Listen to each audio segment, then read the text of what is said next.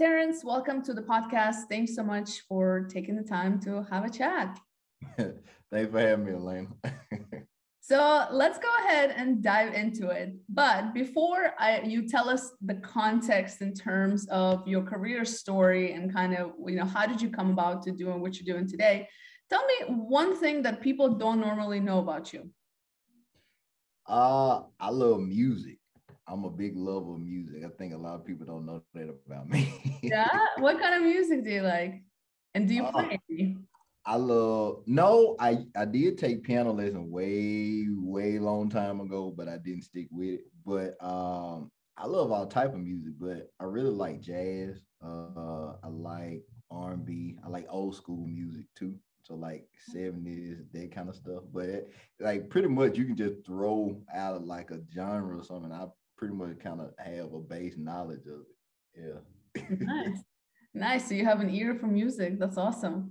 Yeah, um, yeah. and I wouldn't have thought about you, like you know, when when when we started to kind of having chats, and I always, you know, I, I knew a little bit about you, but like even before we started recording, I was like, well, you seem like the nature guy, and that yeah. kind of. I would never be like, well, you're the music person, like you enjoy music, you know what I mean, like to, to on like a deeper level. So that that's cool.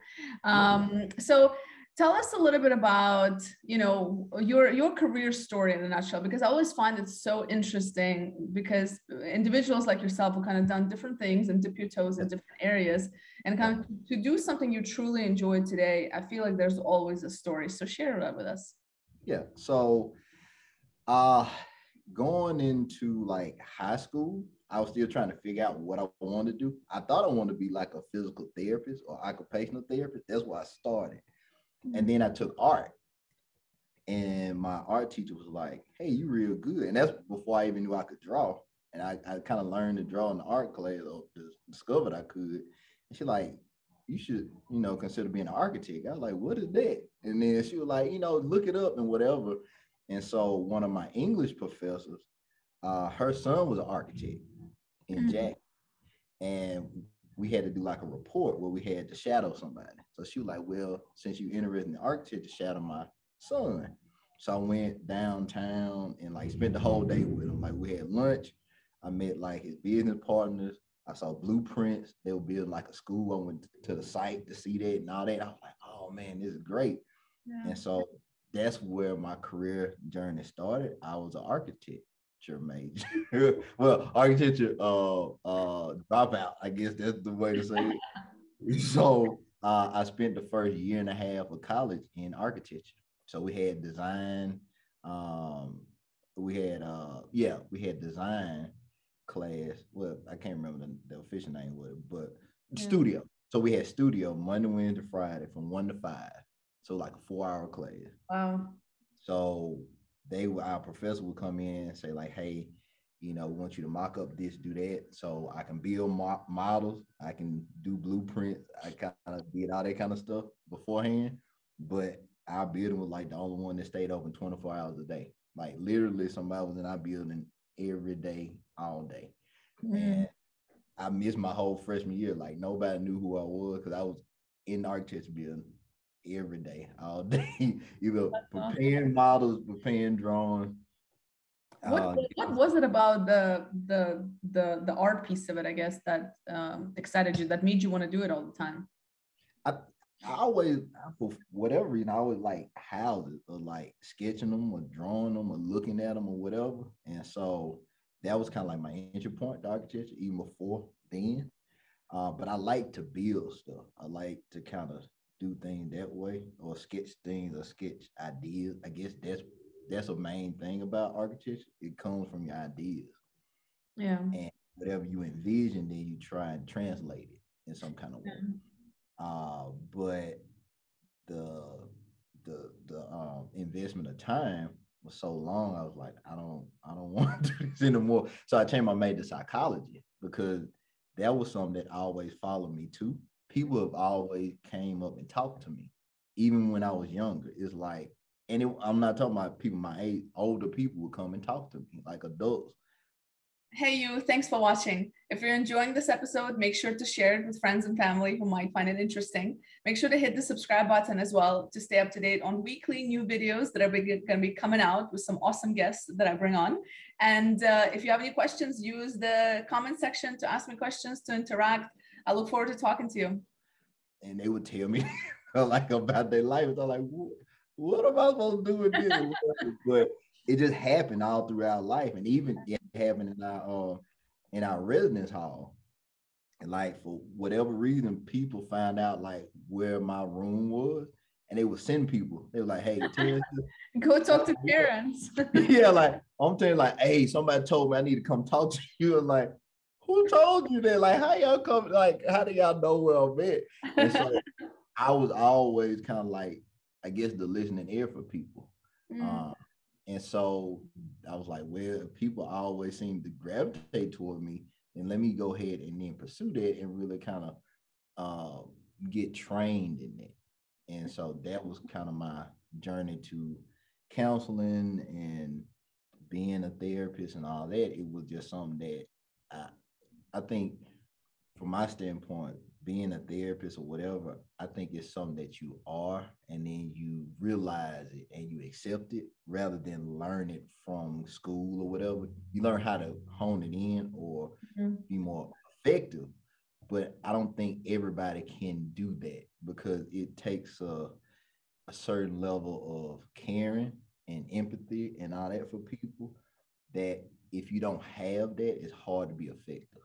Yeah, absolutely yeah I, I completely agree i think it's um you know when i and you you sense it as well you sense it with good coaches and therapists and you know even mentors like it's not something you learn it's something that you it you, it's who you are and then you just kind of you take some certifications because you know just to kind of uh, uh build that credibility. But i mean as you're very well known know you know uh, when it comes to therapy it's either skill you have and yes there's certain things you can learn to be a better therapist but the way you get better is just through a lot of self-reflection of course and by just practicing and speaking with people instead of of course there's techniques not to take away from the from the from the actual uh, technique aspect but um, I relate to it from a coaching perspective because when people start asking me or they start throwing their coaching degrees at me and i'm like but if you know if if you don't feel comfortable like that shouldn't come that sh- you should do you know again it's not about the certification in the coaching world in therapy like you should have maybe some kind of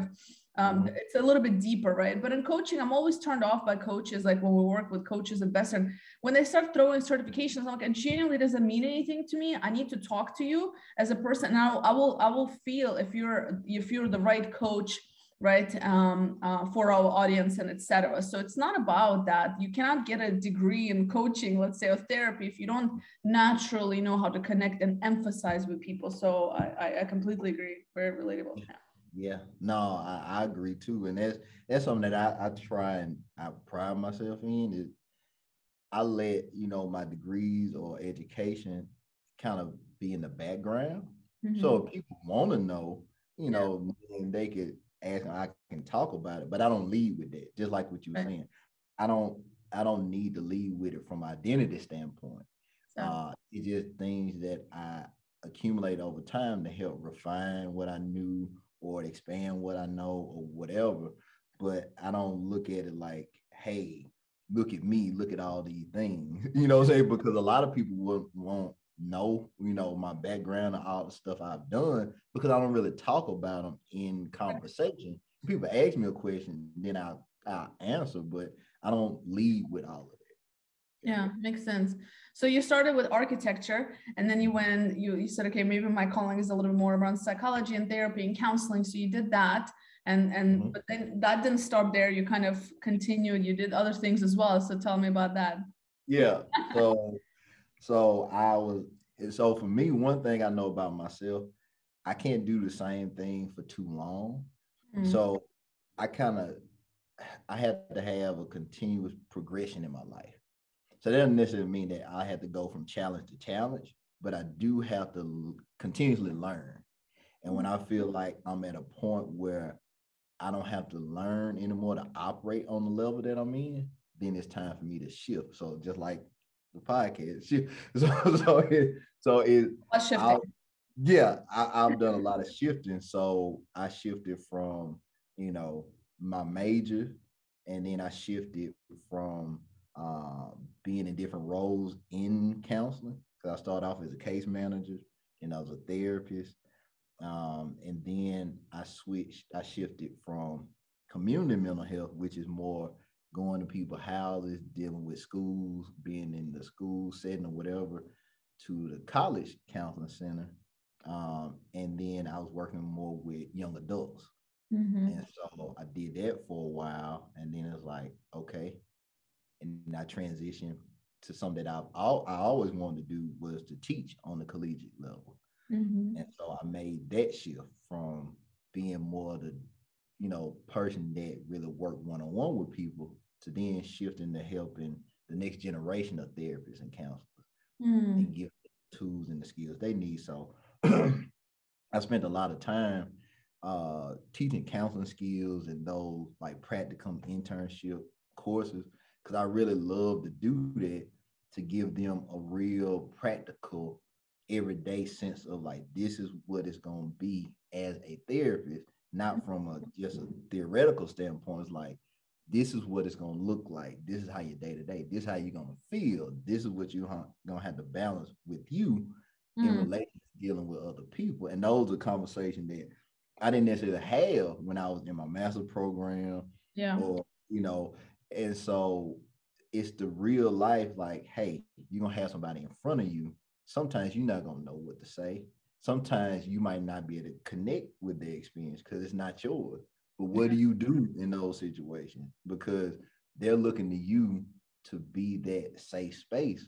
And if you're not comfortable with that, then you can do harm to them because you're not confident in yourself. And so that's one thing that I had I, I built with my students is don't don't be concerned about what I would do. You need to know what you would do in this situation. Mm-hmm. So, because even even my student that I supervise, they're like, you never give me an answer. Like, why won't you just give me an answer? I was like, because if you hear my voice, I can't be the loudest voice in your head. You yeah. should. So if you're hearing me, then you're free because you're like, oh, what would he say? How would he do it? No, how would you do it? Right. And that's what I wanted them to get more and more comfortable about. Like, hey, you can do this, but you got to trust what you got and your unique skills. You you can't do it my way because it might not fit you. It might not fit your personality. But you got to find that. And I think that's what all of us look for is like, how do I use my gifts, but use them the way that fits me? But then it makes it authentic to where when I do talk to people, help people, serve people. And it's like, oh, well, that's Terrence. Oh, that's Elena. Like, it's not me trying to be somebody else. Yeah.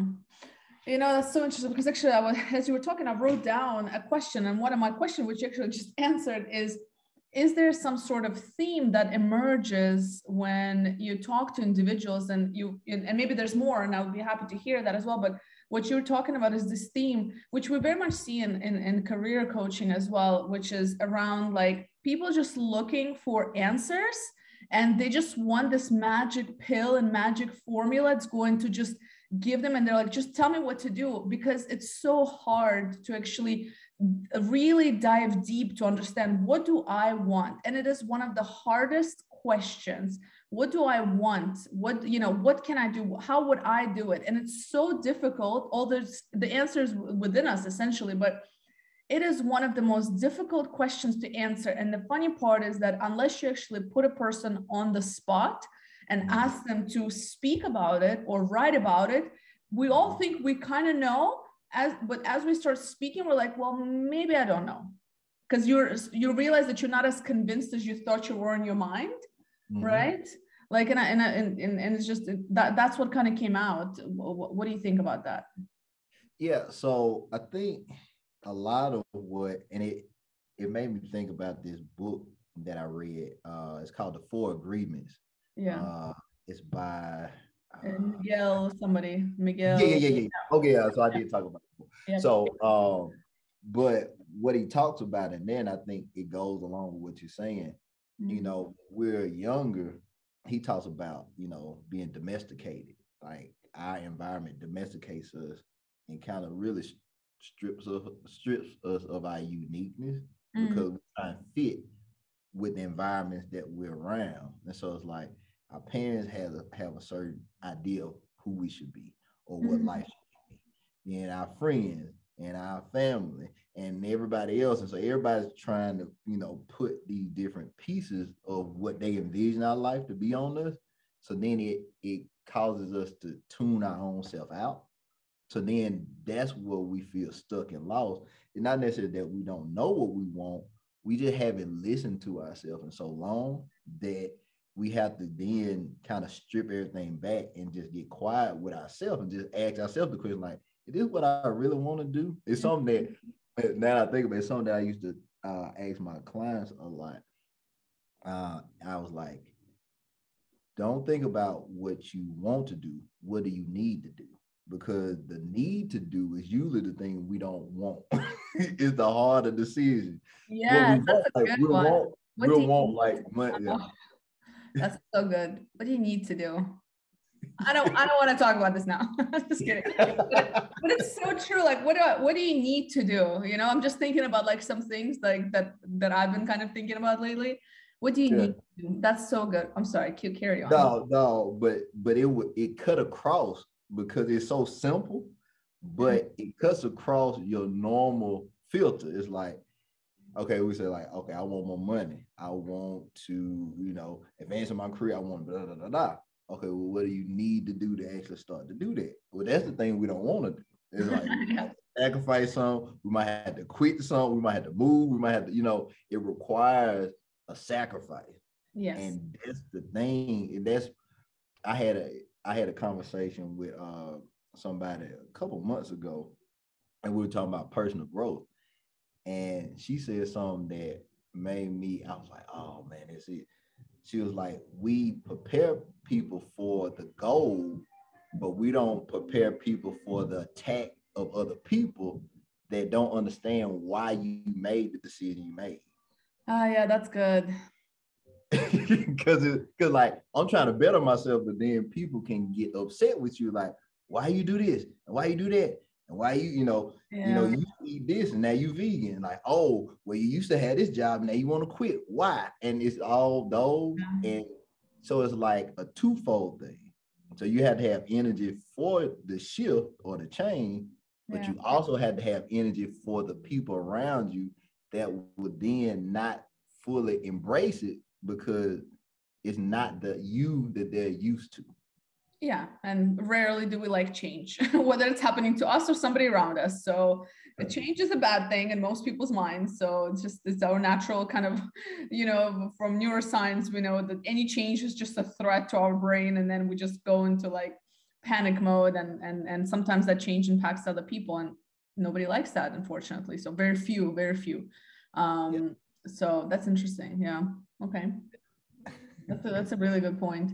Um, and I wonder, so just to pick up on that, I wonder if it's, you know, what do you think of this notion, especially from your, you know, counseling background, from this notion that a lot of times when people try, when somebody's talking to you, especially those that are trying to talk you out of things, it's almost like they're speaking to themselves right? Because they are afraid of you know like they would love to make that change. Let's say you're starting a business right? Like and, and people tell oh it's never going to work and etc and it's usually coming from people who never tried it who are right. complete opposite of what you're trying to be.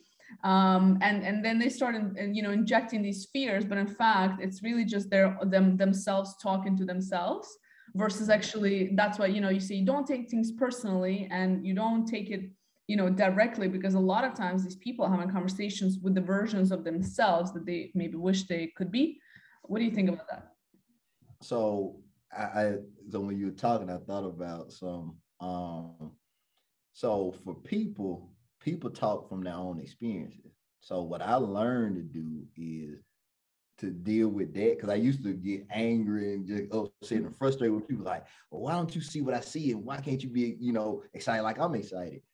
I then started to look at people as like, okay, have they like been in that environment or situation or framework that I'm moving into? And if they haven't, then whatever feedback they're giving me is from their experience. Mm-hmm. It's not talking against what I want to do. They don't have a frame of reference. So I can't be mad at them for that. So then it's for me to find the people that are doing or moving into the thing that I want to and start to connect and have conversation with them mm. because mm-hmm. then I'm getting feedback from people that have the experience that I'm going through or that I'm about to go through. So then it it, it so then it, it kind of helps to place people in your life. not saying like throwing people away, but you know certain conversations are for certain people in your life. Right. And it's not for everybody.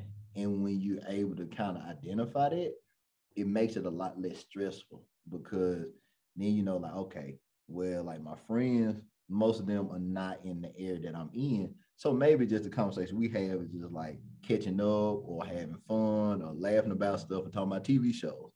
That's the conversation I had with them. But then I had this other group of people that, you know, we are the entrepreneurs. We in this kind of like building something from the ground up, kind of startup life.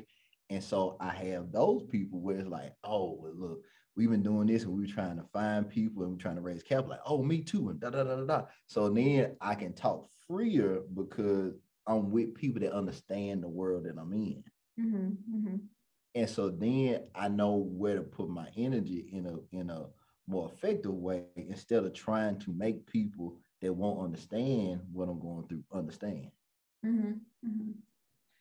and so and that, that that's all that's so interesting. And i think you know as much as we sometimes we we know these things but we constantly need reminders because especially about you know when we go for advice for people that we respect and we like and you know that are in our circles but we have to remember that like you said it's just everybody comes from their own experience and the intent is never to hurt. It's rarely right. to hurt somebody or to say something bad. It's just they're coming from their experience right so it's which is again why i'm like personally i'm a very huge fan of coaches and therapists and mentors because it's unbiased opinion and it's a neutral mm-hmm. opinion that they're you know what i mean so it's it's i myself have all three at, at different times of my life so yeah. it's um it's, i think i think it's very valuable it allows that space to kind of reflect in a in a way that's not kind of tainted by other people's experiences so it just mm-hmm. creates that space um, so for you, I'm just curious, like, you know, I, I, assume what you do gives you a lot of purpose, right? Because you, you kind of,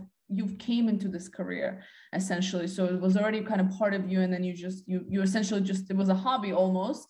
And then you created into a career and then a, a business as well. So what, what is, what does it do for you, I guess, on individual level? Maybe not what does it do for you is not the right question, I guess, but what drives you, what drives you to, to do what you do?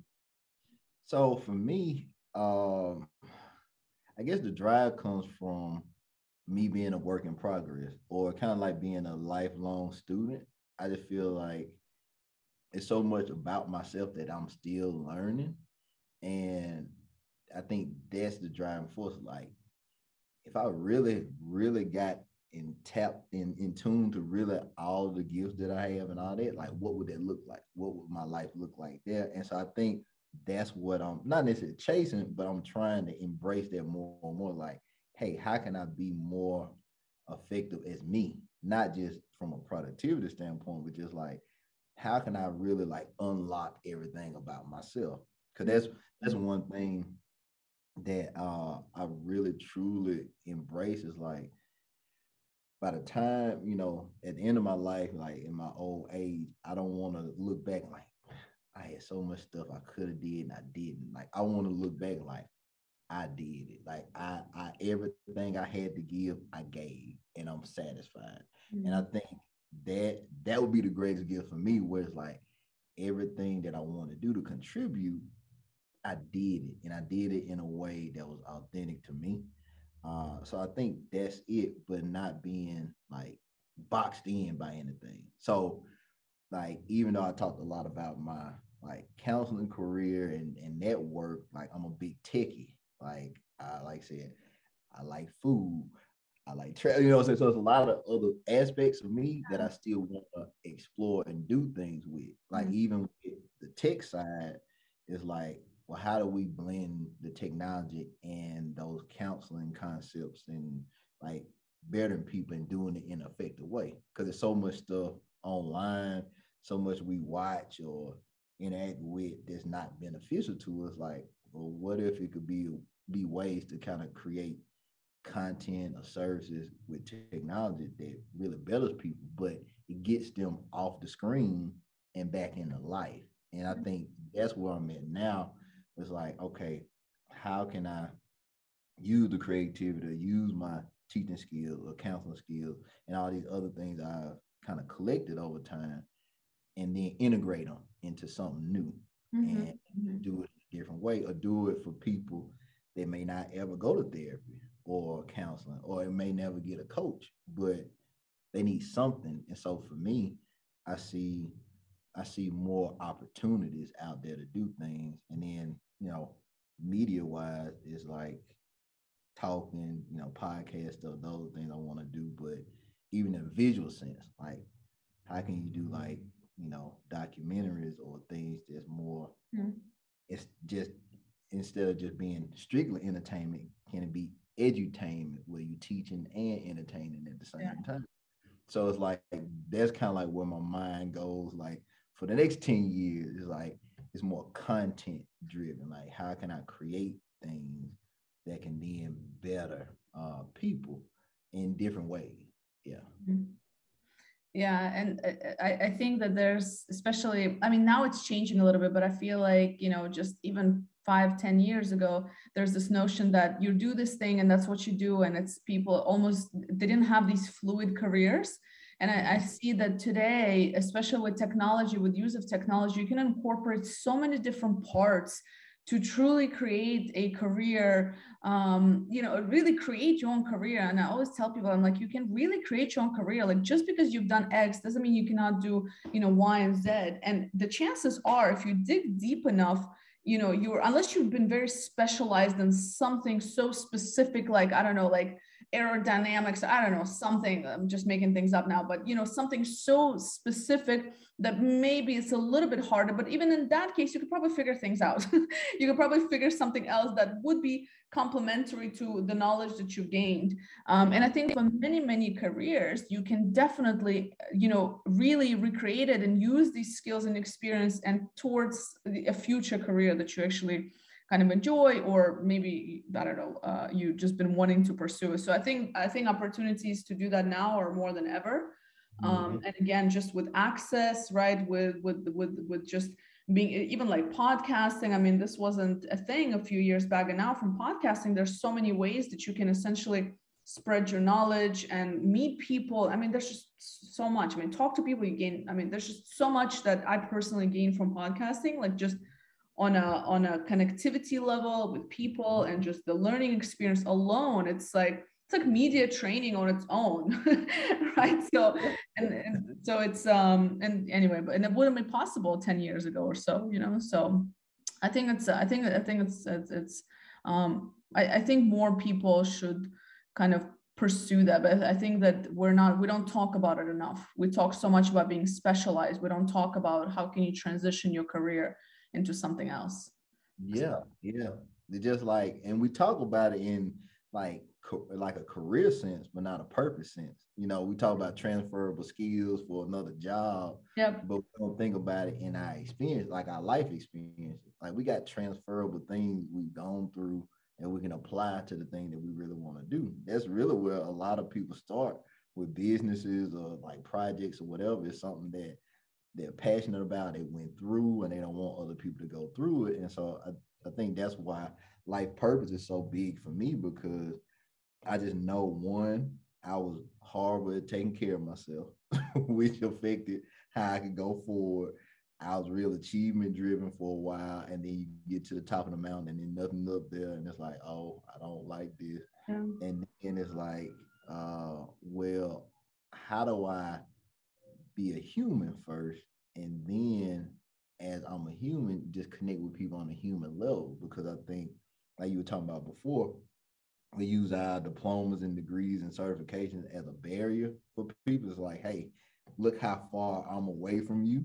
Yeah. And that's not that I, have never seen like my degrees being that.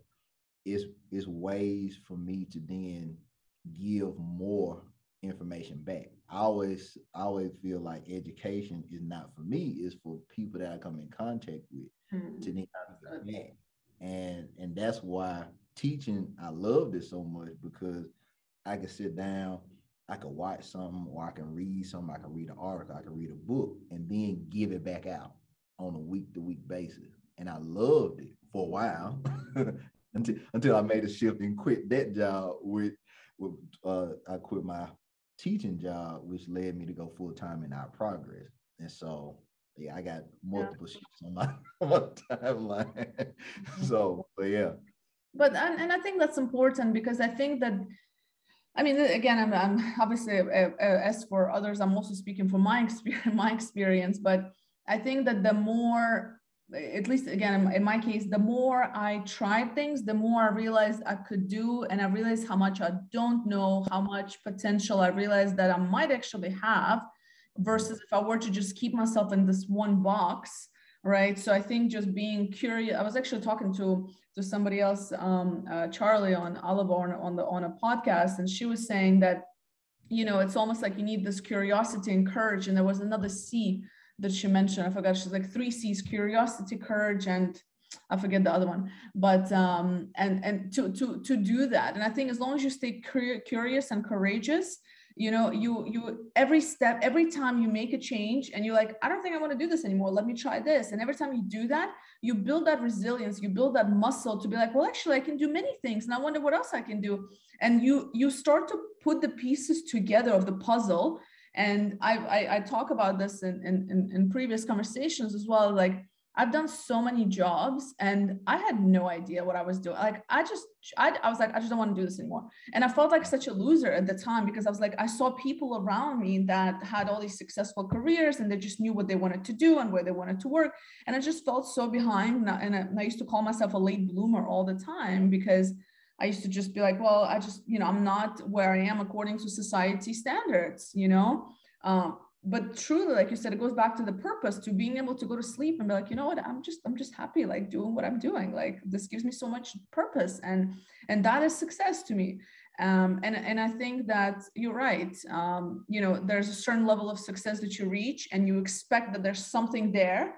But unless that success is on your terms, and it's rarely, and we know this from studies in psychology, that it's rarely about that paycheck because as long as you kind of have the basics covered, like your food and shelter and all of that, you get X number of dollars every year and you know you're just overall okay. Whenever you make anything more than that, it doesn't really bring you the happiness that people search for, when in fact that purpose actually might and usually does. Yeah, yeah. And I think it's just having one one overarching theme for your life. So for me, I'm a creative at heart. And so like creativity is a part of that, but I'm always looking at innovation or like how can something be better or do it in a different way. So some people do it just because it's like, you know, that's a buzzword like innovation and all that kind of stuff. Those are buzzwords now, but like literally that's how my my my mind operates. I'm always looking at how can something be different and be better um, and and and more streamlined.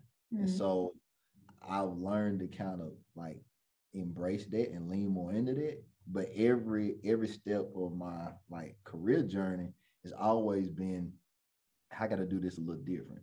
Like even when I was doing case management or counseling, like that was one of the things that my clients would enjoy because they never knew what a session was going to be from week to week because I always was bringing something new. It was like I I I remember one time I had one of my clients. Um, she was uh, she was going through like a lot of relationships, and I was like, she got all these walls up. That's what I was thinking about. And I told her like a week or two before we did, I said, hey, I got an idea to do something. I said, but I'm gonna tell you before we do it, and then if you want to do it, you want to try it we'll do it. If you say, no, I don't want to do that, that's fine. I was like, but I think this might be what you need.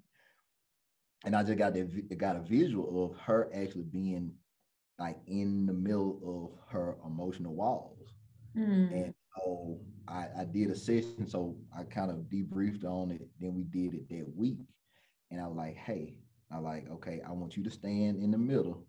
And I found like poster board, like all that kind of stuff and I kind of had four walls around. Mm-hmm. And I was like, hey, all right, now in order to, and I was like, you got to remove it. So I said outside of the four. And so I was like, in order to remove the walls, you have to name what that wall is and mm-hmm. say what you need to say to it. Mm, that's so good. And then once you feel like you said what you need to say, then you go and you remove it. And so she did. She she spoke to like each one of the walls, and then so she was just there.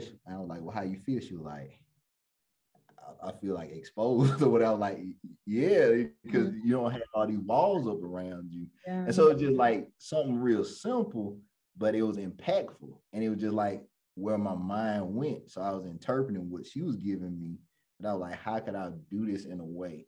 that would give her a different reaction where she was like, oh, okay, that's what this what it really feels like, what I'm talking about. So yeah, so it's like leaning into that and doing things in a in a way that people might not get it first, but the people that it's made for, they instantly get it. Right. Yeah, absolutely. And I think that's just something about visualizing, not just visualizing, but putting that a tangible thing in front of you right like so that you remove and and sometimes it's visualization exercise where you like envision like removing certain obstacles out of your way but if you have a physical thing that you can essentially remove that's also i, think that would be super helpful um, i can only imagine. So because you actually it's you're getting it out of your head and i think that's what like that's what i always think of like counseling and therapy is just getting out of your own head and and and talking through things and maybe just working through things versus just being in your own mind all the time um, mm-hmm. um, which which can get messy so. Yeah um, for all of us for all of us. Um, but um, let me just ask you also so um, the work that you do could be quite heavy on, on on yourself as well because you especially being an empath i'm sure you take on a lot of people's energies. So in terms of your habits and routines like that you do on daily basis and just managing the ups and downs is there something specific that you do every single day that helps you maybe around well-being or whatever it may be? Yeah so every day i go walk uh i used to run I used to do like two two or three miles running every day, and I did that up until maybe about three years ago. Mm-hmm. And I think I was at a point in my life was like I needed to slow down. Like everything was just so on the routine. Like I said, I'm a I used to be a Blackberry, uh, you know, fanatic, and I had all my meetings on my Blackberry. I was one of them business people. Yeah, I was one with the trackball and everything. So I was like, man, I can't keep living like this. Where just like I got eight meetings and back to back to back, and I'm just like on the go, go, go. And so I started doing nature walks. And you know, with them, I just kind of go and I I, I kind of block time out to where I don't have things like in that part of my day. Mm. So I mm. don't have to say like, hey, I need to be back in an hour. If yeah. I want to walk for two hours, I can do that. If I, you know, however long I want to just go and walk, and that's my that's my time to like process. Like that's like my spiritual time, my time with God, or like meditation time. Or I might want to listen to music that time, but it's that grounding thing, and especially if I have like, you know, a decision I'm trying to figure out, or I got a meeting or something like that later that day, that'll kind of help clear me or help frame things like, okay, what I want to say or what I want to talk about, or like what are some different things to kind of consider as I'm preparing for, or it might be some things that I just been holding on to from previous, you know, days or weeks or some stuff going on. I need to clear out before I get, you know, to that meeting or whatever I got to do that day. So that's one. Journaling, I don't do it as often as I used to, but it's a book. Uh, I'm a, I'm a book person. So um, it's called The Artist Way by mm. Julia Cameron. One thing in that book, and I, I did it faithfully for about a year, but what she talks about is doing morning pages. So mm. morning pages, you get a notebook and you write three pages of words down, unfiltered. You don't have to punctuate it. It doesn't have to make sense. It's just you, whatever's in your head, you get out in the morning. That's what they call it, the morning page. And you just handwrite them, and then you just go on with your day. And so one of the things that happened, and it happened for me too. the thing that you write in your morning pages start to happen because you then start to write about what you really want. So as you start clearing all these things out your head, you actually start writing down what you really, really want to do. Like hmm. When I first moved moved back to Jackson, I, I was like, I wanted a house. And so I was writing, I forgot that I had wrote about all that stuff in my morning pages. And then I look back like six months or a year from then, I read, I was like, oh yeah, I wrote about it. like I wrote that I wanted that. I, I wanted to change it. Like a lot of stuff I wanted, it came out through that. And that was just a simple thing. Even though it takes about, depending on like the notebook or if you're doing it in a journal or whatever, like the size of the paper, it might take a little longer. But I would say if you're gonna do it, just leave like an hour or so in the morning to just sit down and just write. Yeah, and, and like and don't edit yourself. Like don't try and make it make sense or scratch out like you got mis misspelled words. It don't matter. Just write. Yeah. You know that's so interesting because um, I'm a huge fan of journaling. Um, you have to know something about me. I didn't come into the world of personal and this professional kind of development in terms of like more on personal side, I guess, until really like towards more towards late 20s. I was always like a fan, but I didn't really get into it um, until until actually my divorce. And because at that point I was like, oh well, I really need to figure my my stuff out because now it's just me and and at that point, that was like a, a, tipping point for me to say, okay, I really need to take this a little bit more seriously. Um, and the interesting part is that when I first started journaling, you come into realization of how much thought that is not necessarily healthy happens in your mind and it doesn't always have to be negativity but it's even the fear of writing down things that you want so you're mm-hmm. almost afraid like you're like oh no but i can't have that like why you you you, you like you want it and then you write it and you're like and you almost feel nervous that you're actually writing it down and then, i don't know how to explain i'm sure you you know this. Yeah yeah i know what you're talking about. But yeah. but, but you get what i mean? Like and you you're afraid you're afraid and i'm like and it took me a while to process because i'm like well if i'm afraid to even think it and believe in it how can things ever happen right? Yeah yeah, no, and that's that's when you made me think about some. So, uh, it was a couple years ago. I was I was in therapy. I had my therapist, and one thing she suggested to me, she was like, journal. She was like, I know you you journal all types of different ways, and for so many years, she was like, but you never done it with your non-dominant hand. She like, since you're right-handed, right left-handed, mm. and then that'll kind of uh like diffuse your brain from overthink overly thinking about what you're gonna write. And so I started to train. So really I write now with my left hand.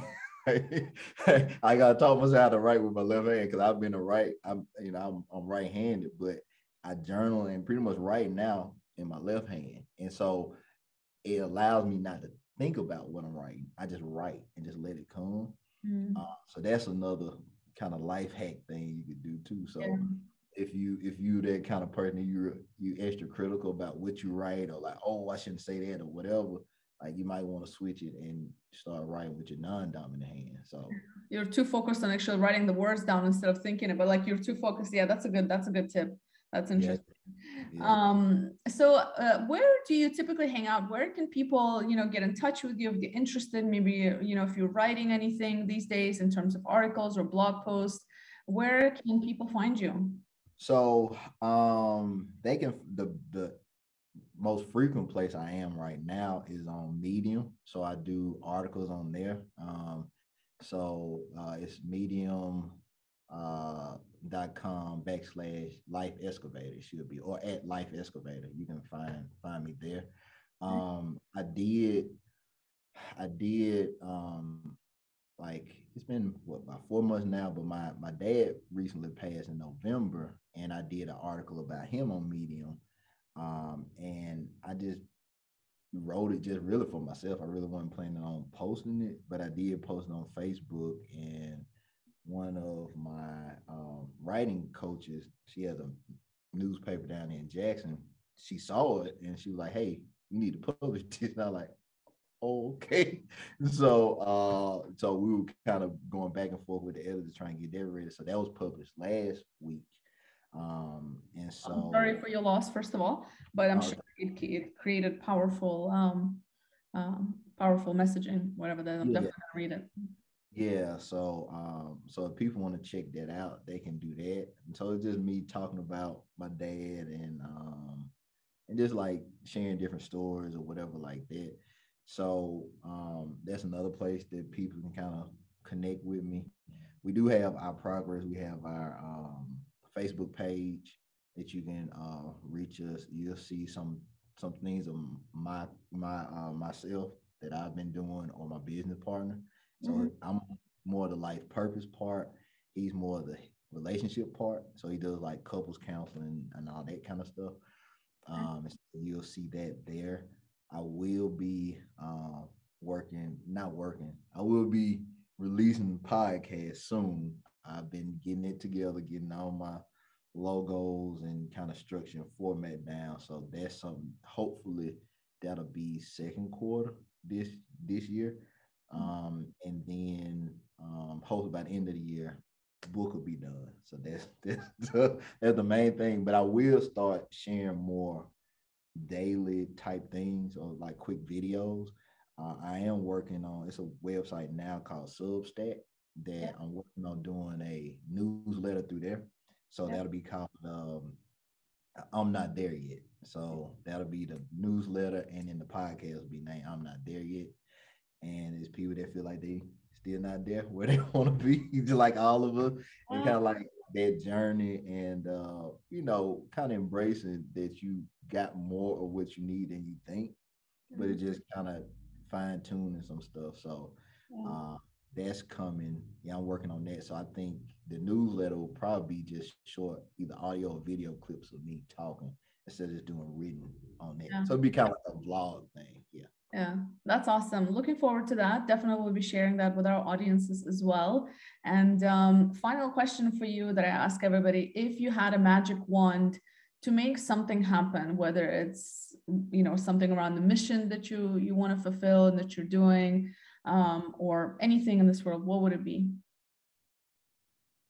I would say, well, it's kind of like a two part, but they kind of blend together. So I've always wanted my own island uh, and so I think the inspiration from that came. I went to Jamaica uh, a couple years ago and had a chance to actually uh, guest lecture there.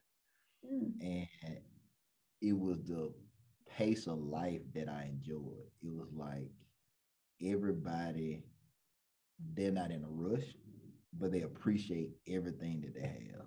Mm. And hmm. that's one that I got from there. It's like Cause they have, you know, I went to KFC over there. They got like Burger King over there, but you literally will wait in line for 15 minutes. Like nobody's in a rush. You just gonna sit there and talk or whatever. but you like don't go there and think you Yeah, yeah. But um, but it's like, you know how we just go to a restaurant, we get a whole handful of napkins and like we don't really need them, but we just get them. Mm. They just give you one napkin. They're gonna give you like a packet of ketchup or whatever. Don't ask for you know, it's like they kind of live within their means. Yeah. And I think me, that's where ultimately I know I'll be in an island environment. Uh, if it's Jamaica, I would love that. Uh, but but uh, somewhere like that at a slower pace of life and just you know enjoying life, but still doing doing things to help people, but not necessarily in the rat race and chasing the American dream and doing all that kind of stuff. It's just like, how can I just be content, but also still be growing? And I think that's, yeah.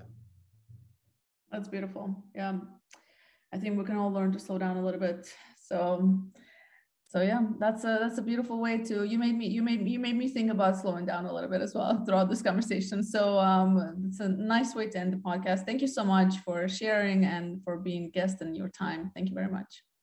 Thank you. I appreciate it.